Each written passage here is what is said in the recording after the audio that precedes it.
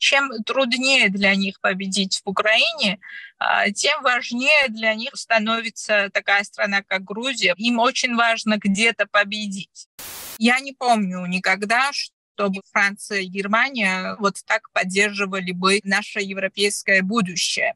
Единственная страна, которая победит, если мы не получим статус кандидата, это будет Россия. Статус кандидата может даже стать катализатором политических перемен в нашей стране, потому что люди поймут, что у нас реальные шансы, что переговоры можно открыть быстро, если будет у нас правительство, которое хочет продвигаться по направлению к Евросоюзу. Пам'ятаєте, зовсім нещодавно в Грузії пройшли масштабні протести. Люди виходили на вулицю, щоб запобігти прийняттю закону про інагенти, який мав би зупинити європейський шлях країни. І ці протести були помічені на заході. Наразі в Євросоюзі розглядають можливість надання Грузії статусу кандидата члени ЄС навіть без виконання частини вимог. Це важливо, тому що таким чином. ЄС хоче підтримати грузинське суспільство і не дати грузинській владі увійти і віддати країну в орбіту друзів Путіна. Проте чи вдасться цей план? Чи дійсно готова грузинська влада до євроінтеграції? Про це все ми зараз поговоримо з грузинським депутатом від партії Лело Саламе Самадашвили. Е, добрый день. И сразу же вопрос. В последнее время мы часто слышим источники из Брюсселя, что Грузии готовы дать э, кандидатский статус, даже несмотря на невыполнение некоторых условий. Главное не допустить миграции Грузии в сторону России. Насколько, по-вашему, это реалистично? Спасибо за пригла- приглашение. А, ну, знаете, мы что видим, это то, что а, сегодня а, Евросоюз поддерживает очень сильно политически то, чтобы Грузия стала страной кандидата в членство в Евросоюз. Мы слышали это от президента Макрона, мы слышали это от а, министра иностранных дел а, Германии, которая приезжала в Грузию недавно. И я не помню никогда, чтобы вот на таком уровне, особенно две э, страны, Франция и Германия, э, которые очень, их позиция очень важна, вот так поддерживали бы наш, наше европейское будущее. И это, конечно, обнадеживает.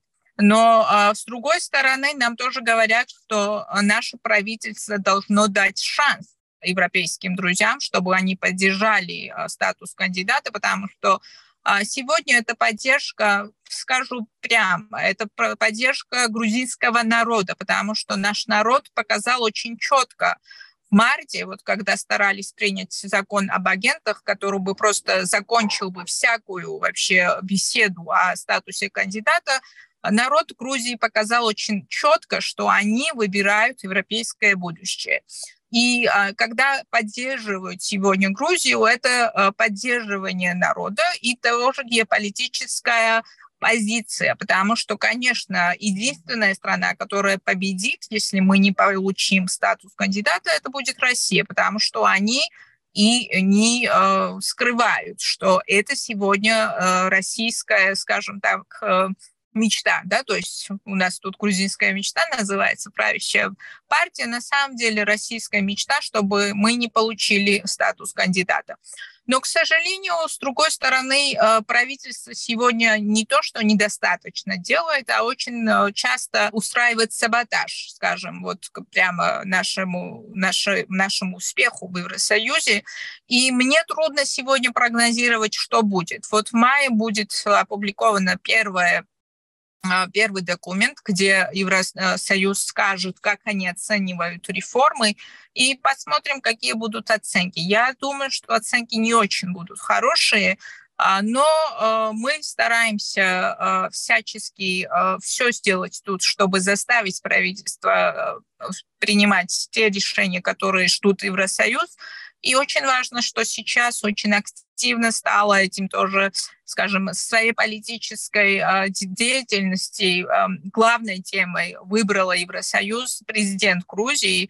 И посмотрим, если все эти старания приведут к тому, что, несмотря на наше правительство, мы не потеряем шанс и получим статус кандидата до конца этого года. Посмотрим, как это все выложится. Насколько этот шаг в сторону Грузии может быть эффективным? Если Грузия получит статус кандидата, это заставит правительство поменять свою политику? Статус кандидата – это один вопрос, а после этого должны начать уже переговоры, э, что называется accession talk, да, то есть э, уже переговоры насчет того, что э, уже процесс открывается только после того, как ты получаешь статус кандидата, но от статуса кандидата и до переговоров, начала переговоров тоже нужно очень много сделать.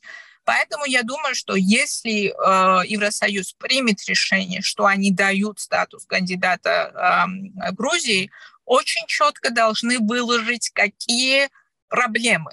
Да, то есть то, что правительство должно было сделать, что они не сделали, и что ожидается а, для того, чтобы уже открыть процесс переговоров. Потому что а, знаете, я думаю, что если вот будет такая четкость со стороны Евросоюза, а, тогда статус кандидата может даже стать катализатором политических перемен в нашей стране, потому что люди поймут, что у нас реальные шансы, что переговоры можно открыть быстро, если будет у нас правительство, которое правда то есть не, не, не формально, а правда хочет продвигаться по направлению к, Евро, к Евросоюзу. К сожалению, сегодня такого правительства у нас нет, потому что а, э, правительство грузинской мечты а, – это правительство, которому гораздо важнее, что о них думают в Москве, чем то, что о них думают в Брюсселе. А Москва не скрывает, что они не хотят, чтобы Грузия продвигалась вперед по направлению к Европе. Мы все это знаем. Вы знаете из своей истории, что произошло с правительством Януковича, когда его сначала там говорили, что вот НАТО проблема, а потом Евросоюз тоже проблемой стал. А, и сегодня, конечно, Россия а, занимается этим, чтобы помешать всячески продвижению в Евросоюз. И при этом правительстве, я думаю, что даже если мы кандидат статус кандидата получим, а быстрого продвижения по направлению к Европе все равно не будет. И поэтому в повестке дня все равно будет смена власти. Э, я надеюсь, что э, это произойдет на следующих парламентских выборах, когда, выборах, когда к власти придет уже демократическая коалиция про, проевропейская демократическая коалиция, в которой я надеюсь и уверена, что наша партия Лило будет играть а, очень важную роль. Я хотел бы услышать вашу оценку. Э, грузинская мечта, она с самого начала была против европейских, э, пророссийской, либо же она все-таки начинала с э, проевропейских э, обязательств, был, был прогресс, э, без виз Европа, соглашение про ассоциацию, и с какого-то момента начался, началась эрозия проевропейского курса. Вот как вы думаете, э, был ли смена, либо ли с самого начала были настроены против Европы? Если мы посмотрим на историю, в 2012 году а, грузинская мечта, а, она не одна пришла к власти, это была коалиция, достаточно, достаточно обширная коалиция, практически всех политических сил, которые пошли против правительства Саакашвили, но среди них было э, много политиков и партий, у которых были связи в Западе. Никто не сомневался, сомневался в том, что они правда про европейского и э, про западного настроя люди. И поэтому я могу вам сказать, что я была послом Грузии в Евросоюзе с 2005 до 2013 года.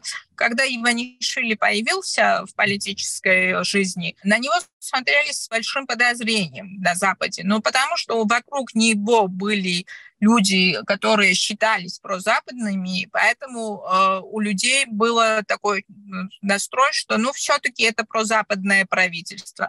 И, конечно, э, все вот эти э, отношения с Евросоюзом, они выстраивались при э, предыдущем правительстве, потому что в 2012 году, когда сменилась власть, практически были заключены, за, закончены все переговоры насчет там ассоциации, безвизового, безвизового въезда в Евросоюз, свободной торговли. И, конечно, тогда у правительства не было никаких шансов, у Иванишвили не было шансов сразу же отказаться от всего этого, потому что это бы просто э, привело к тому, что они бы очень быстро потеряли власть. Поэтому э, вот за эти 10 лет Иванишвили потерял всех своих членов коалиции, которые были правда про западники. Они все уже ушли в оппозицию. А, и грузинская власть стала сменять а, свою ориентацию мало-помалому, и дошло до того, что президент Грузии, а, который была кандидатом грузинской мечты, вот она несколько дней назад в парламенте прямо сказала, что в 2021 году уже было ясно, что меняется курс, курс нашей а, внешней политики при грузинской мечте. Так что это произошло, я бы сказала, шагами маленькими, и сейчас уже это все очень э, ясно видно всем, даже тем людям, которые голосовали за грузинскую мечту. Возможно ли, что грузинская власть сейчас делает шаги, ну, похожие на закон про инагентов, которые ну, сделают невозможным предоставление стране кандидатского статуса. Например, э, мы слышали, что, возможно, в ближайшее время Грузия восстановит авиасообщение с Россией. Шаг, против которого призывает не делать, его критикуют и ЕС, и США. Я не исключаю, я могу прямо сказать, потому что я думаю, что для России принципиально э, важно, чтобы мы не получили этот статус кандидата. Э, для них это очень важно, и они свои заготовки имеют, наверное, то есть что могут сейчас сделать, чтобы помешать этому.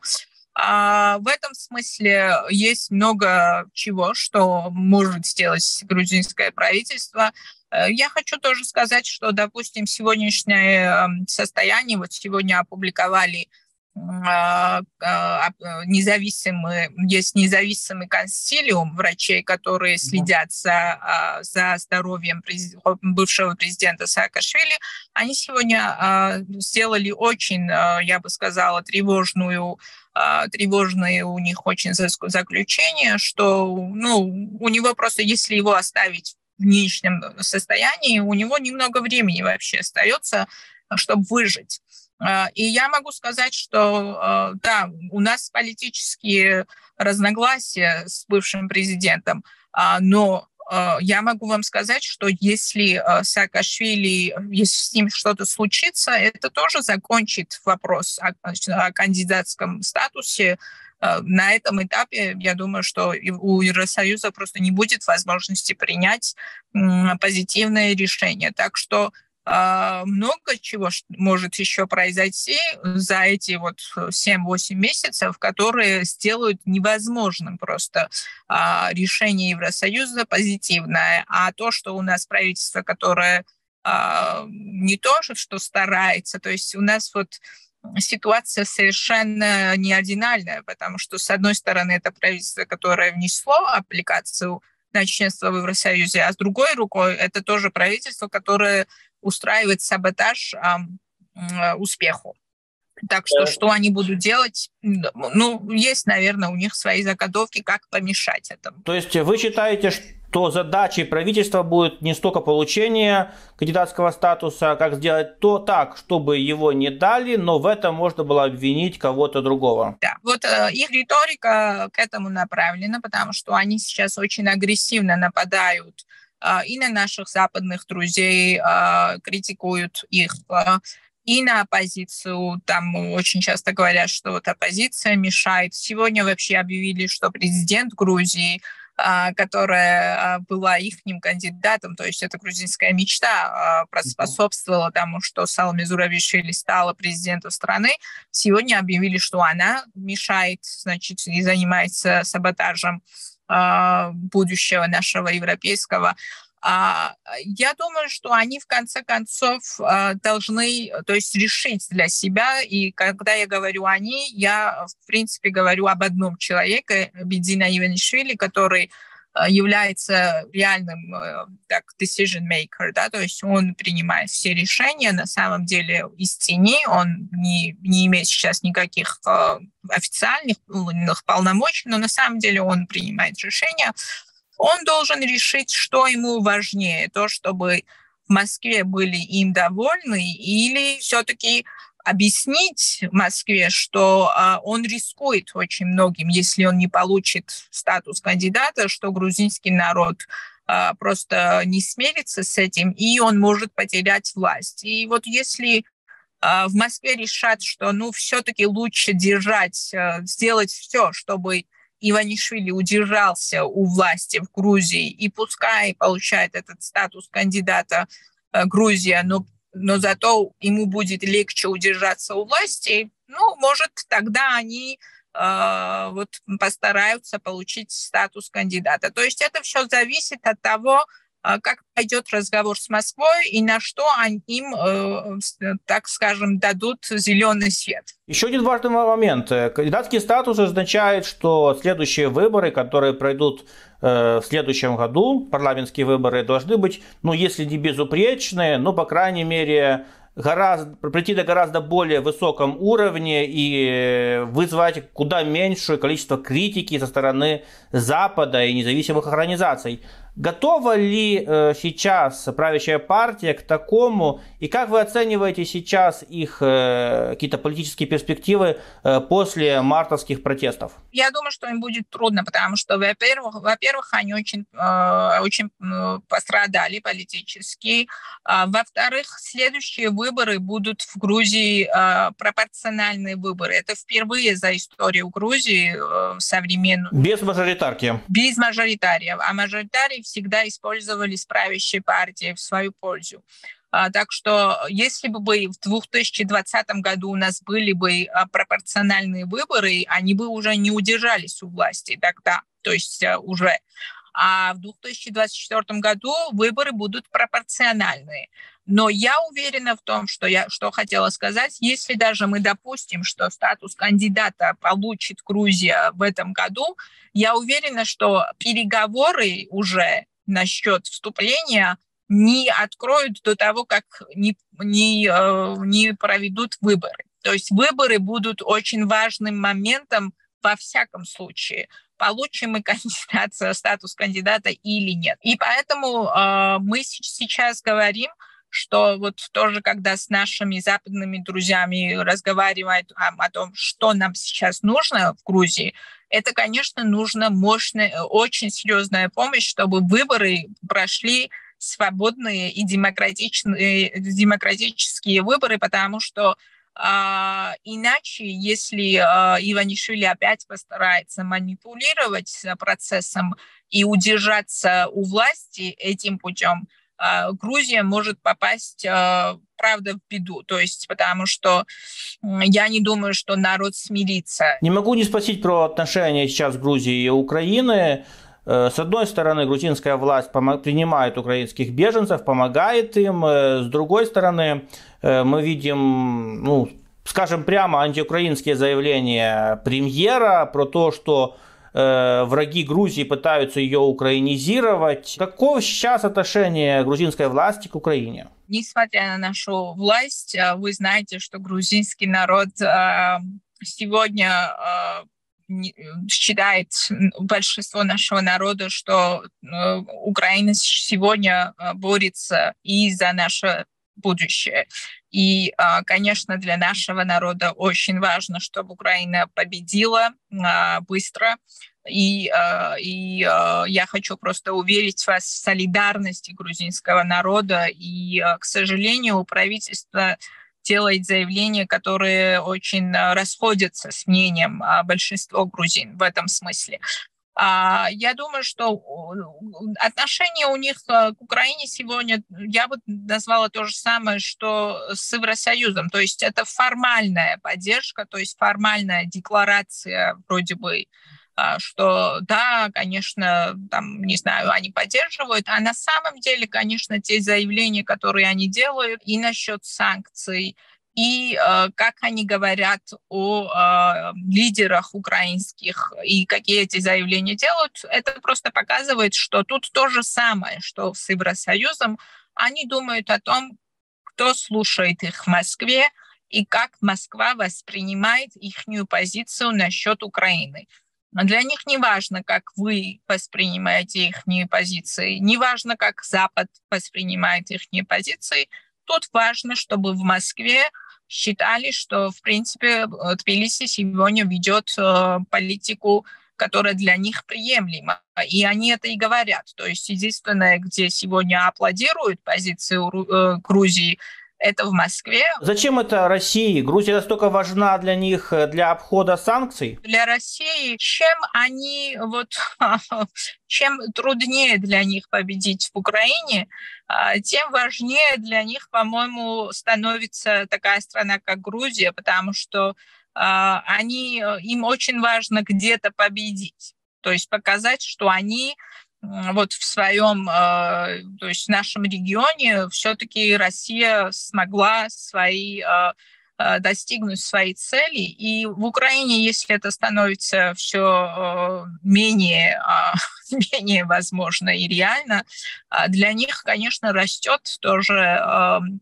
скажем, вес Грузии в этом смысле, потому что я уверена, что что Россия хочет на самом деле, вот если бы у них была возможность, чтобы на следующих выборах в Грузии уже сменилась власть на э, открыто антизападную власть. Просто это очень трудно достигнуть в Грузии, потому что грузинский народ э, больше чем 80%, 90% поддерживает наше будущее в Евросоюзе и в НАТО. Немножко провокационный вопрос. Э, грузинская православная церковь э, ее роль в политических процессах и является ли она э, агентом влияния России? Ну, знаете, грузинская православная церковь, конечно, для нас э, очень э, в нашей стране играет важную роль вообще в обществе, потому что, э, ну, это символ ассоциируется с нашим суверенитетом, с грузинскими традициями, наше, ну, их влияние очень важно. А, знаете, я думаю, что если посмотреть на историю, допустим, вот в 90-х годах, а, грузинс, грузинская церковь и вообще вот э, при церкви, да, скажем вот так, люди, они были в авангарде за борьбу за независимость Грузии и так далее. Так что сказать то, что грузинская церковь работает на российские интересы, я думаю, что это неправда. Ну, конечно, как и везде в наших обществах, и в Украине, и в Грузии, а, везде, где это важно, э, это правительство, церковь, медиа, журналисты и так далее.